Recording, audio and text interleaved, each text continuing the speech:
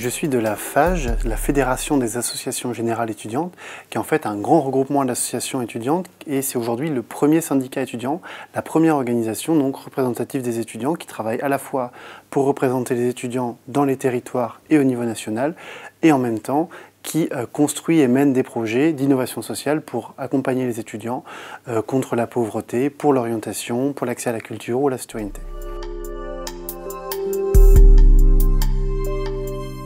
Aujourd'hui, il y a des débats un petit peu faussés sur l'orientation post-bac, puisqu'on a tendance à se focaliser sur l'admission post-bac, qui n'est finalement qu'un outil, et complètement éclipser le caractère profondément ségrégatif de l'orientation aujourd'hui et euh, de l'ensemble de notre système scolaire. Nous, ce qu'on veut aujourd'hui, ce qu'on essaie de réfléchir, c'est ce qu'on appelle le moins 3 plus 3, c'est-à-dire prendre la question de l'orientation au moins 3 ans avant le bac et l'amener jusqu'à au moins 3 ans après le bac pour prendre le parcours de l'étudiant dans l'ensemble. Donc aujourd'hui, les débats ils sont un petit peu biaisés, puisque finalement, on se pose enfin la question de l'orientation juste au moment où il n'y a plus de place euh, de l'enseignement supérieur, plutôt que de se poser vraiment la question d'une manière générale sur comment est-ce qu'on crée les conditions de l'émancipation et de la démocratisation de l'enseignement supérieur pour tous les jeunes.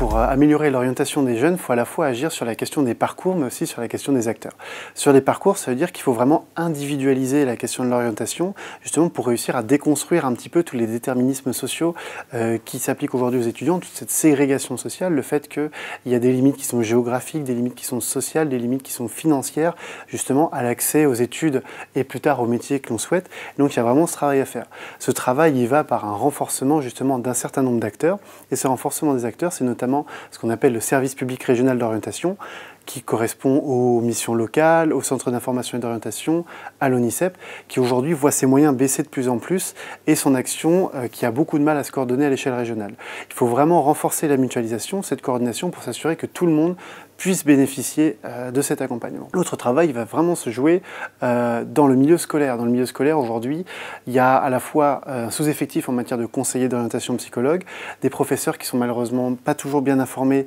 sur les filières du supérieur et des jeunes qui sont globalement perdus. C'est à la fois en augmentant les moyens, en améliorant la qualité de l'accompagnement pour déconstruire un petit peu tous ces clichés qu'on va avoir sur l'enseignement supérieur et en même temps en faisant venir l'enseignement supérieur dans le lycée par des conférences, par du lien avec des étudiants, par tout ce travail-là, qu'on va réussir un peu à déconstruire comme ça. Ce qu'il faut, c'est changer la philosophie globale de l'orientation pour faire une orientation de l'émancipation et pas une simple orientation de la gestion des flux comme on fait aujourd'hui.